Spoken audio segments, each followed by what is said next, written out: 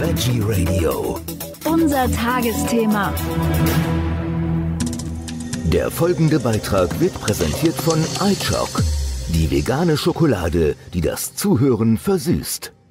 Am Mikrofon ist Michael Kiesewetter. Wir sprechen jetzt über Gesundheit mit heimischen Heilpflanzen, passend zu dem Buch von Sebastian Wiegel und Anne Wanicek mit 10 Heilkräutern 100 Beschwerden und Erkrankungen behandeln. Wir haben schon mal über das Buch gesprochen, aber heute wollen wir uns mal ein ganz bestimmtes Kraut raussuchen. Herzlich willkommen, Sebastian Wiegel. Guten Tag, Herr Kiesewetter. Herr Wiegel, wir sprechen heute über ein Kraut. Das ist ja so ein, so ein Kraut für, ich sage jetzt mal für alles Mögliche, so ein Tausendsasser, die Schafgarbe. Was ist es denn genau, die Schafgarbe? Ja, das ist ein, ein Kraut, wo wir jetzt, wir Heilpflanzenkundigen, die Tage oder die letzten drei Jahre schon so ein bisschen drauf gucken. Wir kriegen ja, wer sich mit Heilpflanzen auskennt, ist ein ganz schönes Hobby. Leider kriegt man auch so diese Dürre mit der letzten Jahre. Und da fallen viele Heilpflanzen plötzlich weg. Andere hingegen kommen mit der Trockenheit sehr gut zurecht. Und da fällt natürlich vor allem die Schafgarbe auf, die einfach auch eine richtige Trocken- und Steppenpflanze ist und auch inmitten der Dürre der letzten drei Jahre auch richtig gedeiht. Da können wir schon so ein bisschen, also wir haben sowas wie die Signaturenlehre. Da gucken wir, wie wächst eine Pflanze und äh, was bedeutet das für den Organismus oder für ihre Heilwirkung. Und damit zum Beispiel die Verbindung, diese, diese mit ganz wenig Wasser auskommen, das ist zum Beispiel was, äh, was unsere Niere schaffen muss. Deren Aufgabe ist eigentlich, das Blut zu reinigen. Die bildet zuerst den Primärhahn, das sind mehrere hundert Liter am Tag. Und die Hauptaufgabe ist eigentlich, aus diesem Primärhahn ganz, ganz wenig Hahn zu bilden, also ganz viel Wasser zu sparen eigentlich. So, und da zum Beispiel kann die Schafgabe unterstützend sein.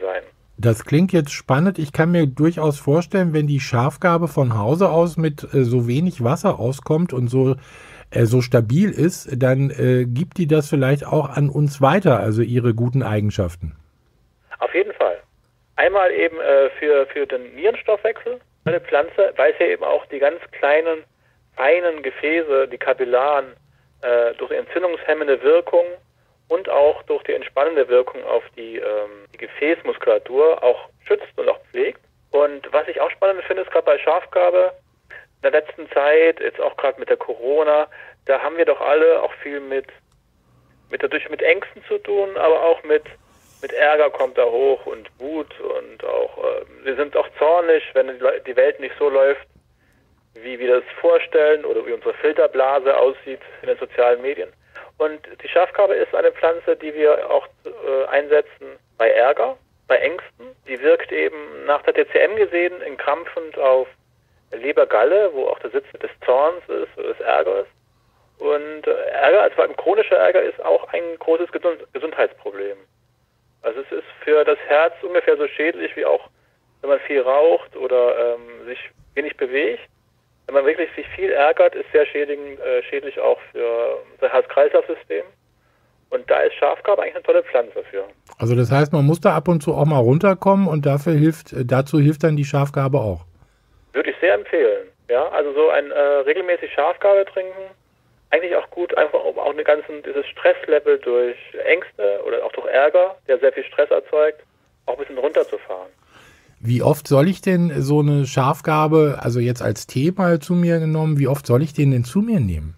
Also ich würde es empfehlen, äh, zwei bis dreimal am Tag und auch gerne mal kurmäßig probieren für mehrere Wochen, zum Beispiel äh, sechs Wochen, um zu gucken, wie die Schafgabe wirkt und ob sie wirkt und auch welche Beschwerden sich im Laufe dieser Zeit auch verändern oder verbessern, weil die Schafgabe auf so viele verschiedene Organsysteme wirkt, kann es wirklich sein, dass Beschwerden, die sich innerhalb dieser Zeit auch bessern können, die man schon länger mit sich rumträgt.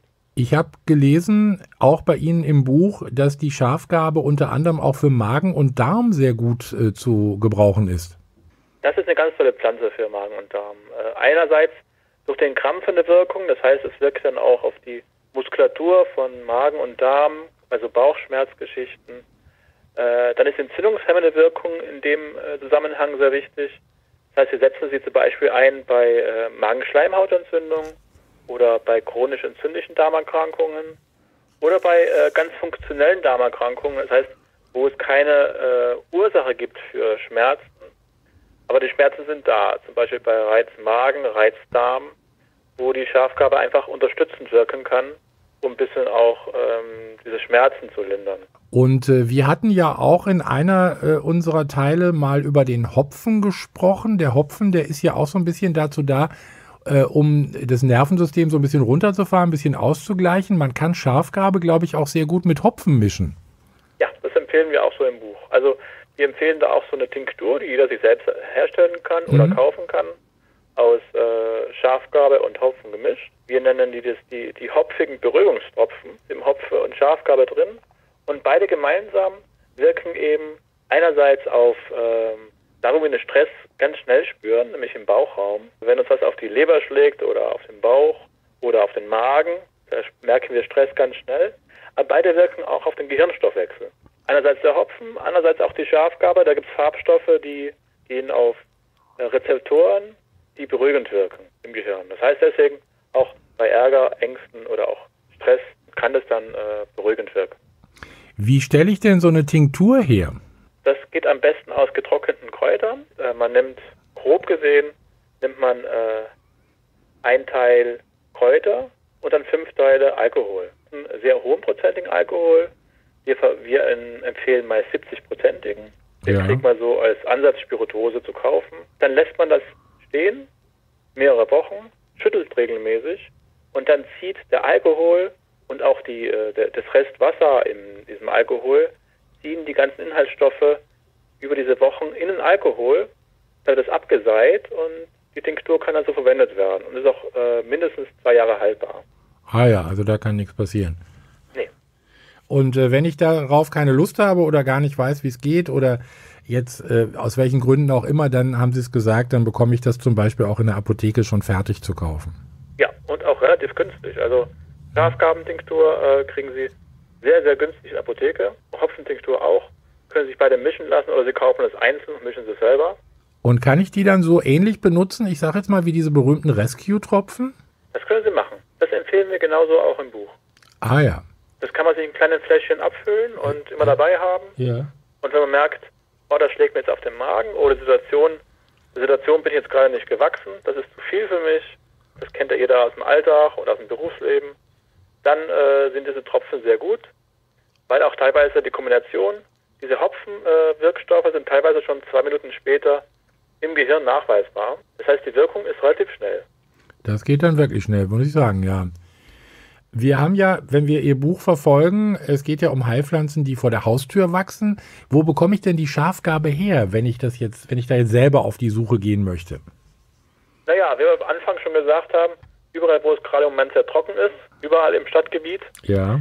wo sie äh, sammeln könnten. Das ist im Prinzip alle äh, Wiesen, also die Schafgabe ist eine richtige Wiesen, früher auch eine Weidepflanze, mhm. äh, wo eigentlich ein bis zweimal gemäht wird im Jahr, auch in ähm, am Rand von Naturschutzgebieten.